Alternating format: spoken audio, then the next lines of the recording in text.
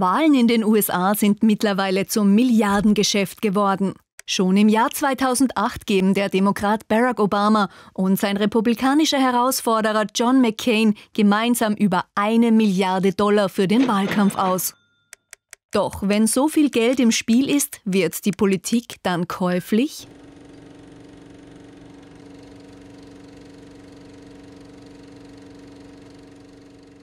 Geld spielt in der Politik schon immer eine wichtige Rolle.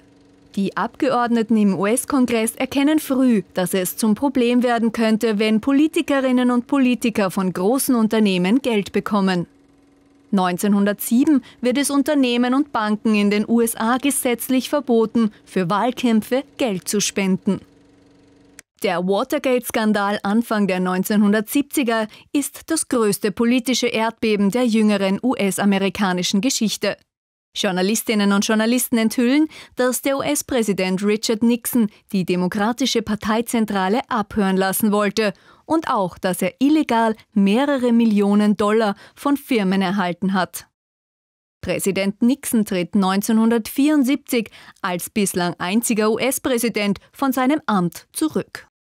Nach diesem Skandal wird der FECA verabschiedet. Dieses Gesetz regelt, wie viel für den Wahlkampf eingenommen und ausgegeben werden darf und woher das Geld kommt. Die Obergrenze für die Wahlkampfausgaben wird aber vom Höchstgericht, dem Supreme Court, wieder aufgehoben.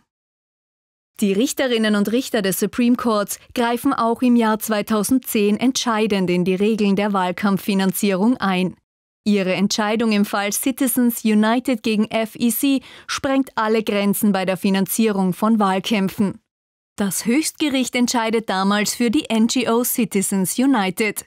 Ihr wird 2008 von der FEC verboten, ein Wahlkampfvideo gegen die damalige demokratische Kandidatin Hillary Clinton zu veröffentlichen.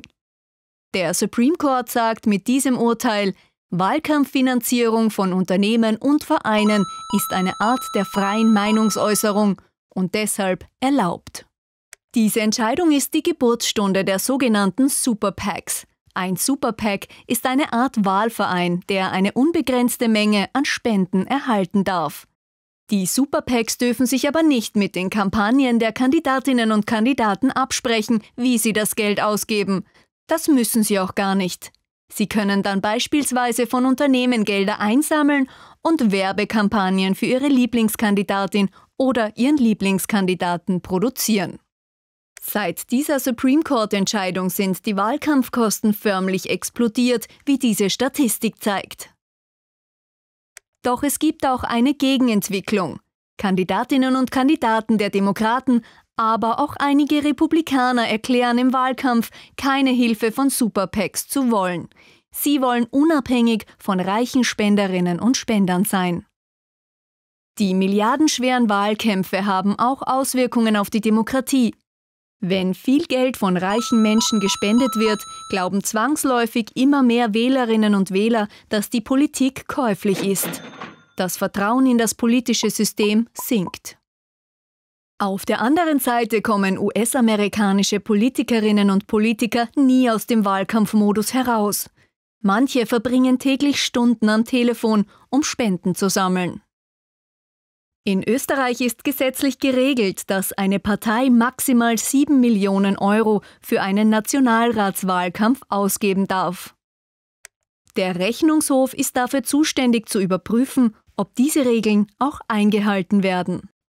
Er muss sich dabei aber auf Berichte der Parteien verlassen, denn er kann nicht selbst in der Buchhaltung der einzelnen Parteien nachschauen. Auch deshalb gilt Österreich nicht gerade als Vorbild, was die Parteienfinanzierung betrifft. Dass Geld allein übrigens keine Wahlen gewinnt, hat der Präsidentschaftswahlkampf von 2016 gezeigt.